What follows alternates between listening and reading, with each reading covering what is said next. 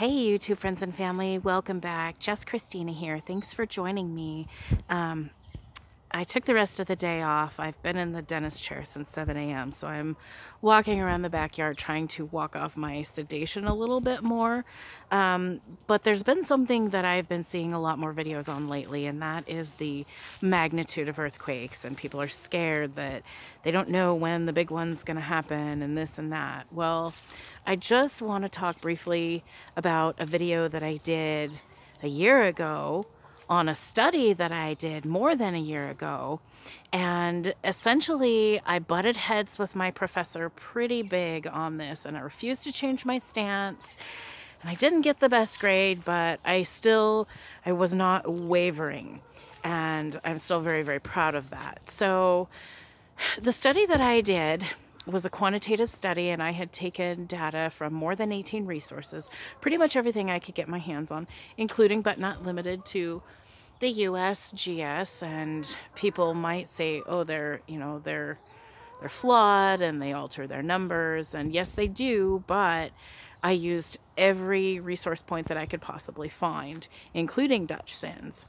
And that's ultimately what I butted my butted heads with my professor on because uh, he said it wasn't anchored and it wasn't proven by science. And I said, but it's it's proven, you know, it's a it should be the new standard model by all means. Um, and I think that since um, since the paper that I wrote, I think maybe the USGS has looked to Dutch and his work a little bit more. Um, even though they butt heads, I think they look at his stuff knowing that he knows his stuff. Um, so with that said, I looked at 100 years of collective data and I used SPSS as my data calculator.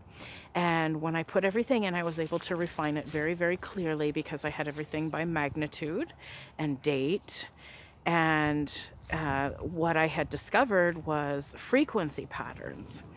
And when I was looking at the ones and twos and threes, the small quakes that are happening every single day, I did discover that every two to three years there would be um, a cyclical shift. So we would have um, a little bit, a, a few more earthquakes, not really significantly, but every two to three years we would see more.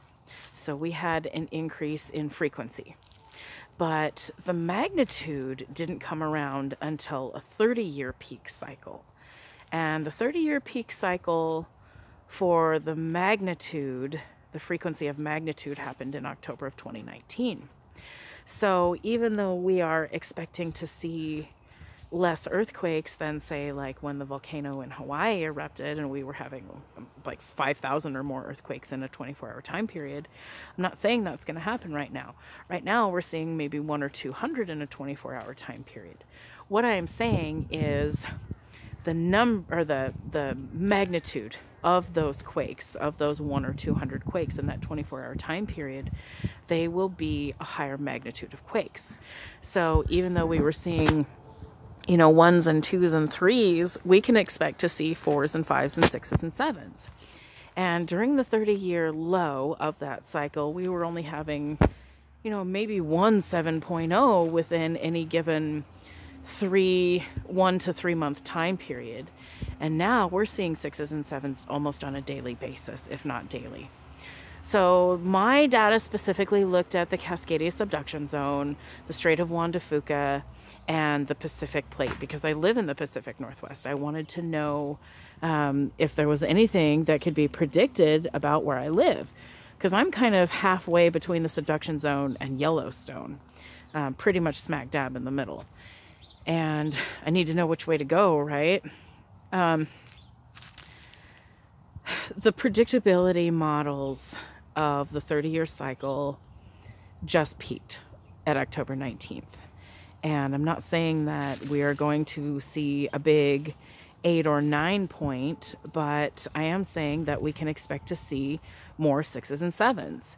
And when I was looking at the Pacific Plate and the Strait of Juan de Fuca, the most probable point that the data pointed to was a couple hundred miles offshore and it put it offshore of Oregon, actually, not of Washington or California, or Alaska, where we where we tend to see a high frequency of low magnitude quakes. So we we see them all the time in Alaska, and the energy travels down, and we see them in California all the time, and the energy disperses. But ultimately, the magnitude, the high magnitude quakes were predicted to be a couple hundred miles offshore.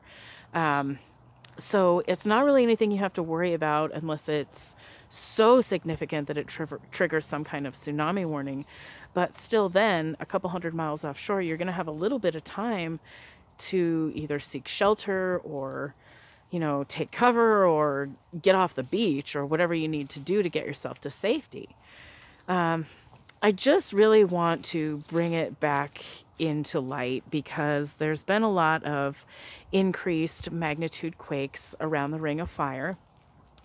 And in the predictability new models, this has happened before.